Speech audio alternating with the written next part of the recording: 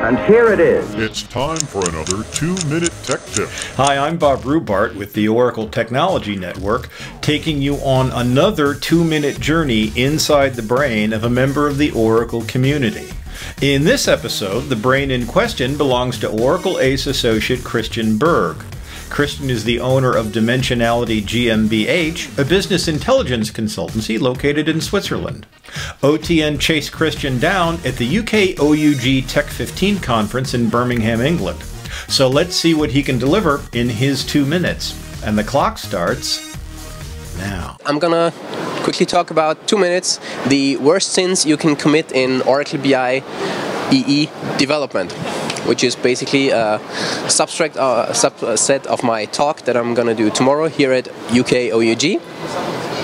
And first up, first cardinal sin that you can commit in OBI development is data type conversion in joins might seem like nothing, but I've seen a lot of developments just failing completely on the performance side because all joins had data type conversion between, for example, strings and calendars just to, to tie in a custom date dimension, which just meant goodbye any indexing that you have set up, hello full table scan.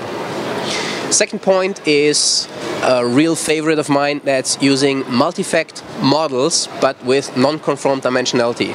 This is something that comes up every second day basically on Oracle TechNet and on the different forums for Oracle BI. How do we use multi-star queries with non-conform dimensionality? Well, it all comes down to logical table sources and content levels. If you don't set them up correctly, you're lost, you're dead, it will never work. Third point, tie into the second one, is not creating dimensional hierarchies for your dimensions in the OBIE repository. A lot of things doing this, a lot of people doing this because it is allowed by the RPD, but basically you're turning off 50% of the whole functionality of the RPD.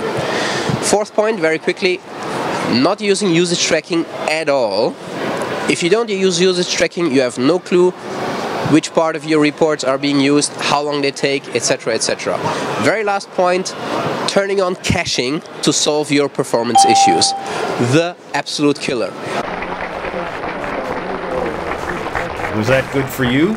Let us know and stay tuned.